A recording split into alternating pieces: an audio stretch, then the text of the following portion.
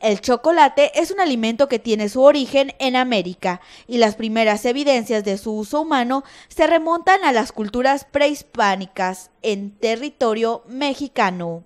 El, cacao y el chocolate son uno de los principales ingredientes de la cocina mexicana. Aparte, fue de México, de donde se llevó a otros países. Sin embargo, el consumo de este alimento es mínimo en nuestro país. El consumo de chocolate en el norte del país es muy bajo. O sea, probablemente en todo el país es muy bajo.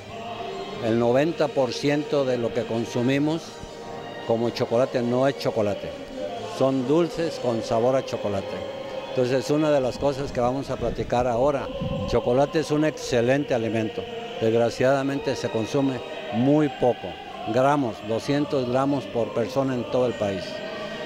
Entonces se cree que se consume mucho chocolate, pero la mayoría de eso no es chocolate, son sucedáneos. Una prueba para identificar a un chocolate verdadero es que este se derrita a menor temperatura que la corporal. He perdido mucho la tradición de, de beberlo como un alimento. El chocolate en realidad no es una golosina, es un excelente alimento y eso lo vamos a platicar.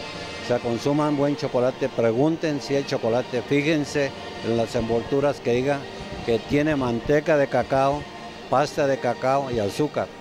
¿Verdad? Es muy importante ver eso. Sí. Esto es un poco de lo mucho que se escuchó en el encuentro gastronómico Guerreros del Maíz. Con imágenes de Roberto Fuentes, informó para RCG Diana Martínez.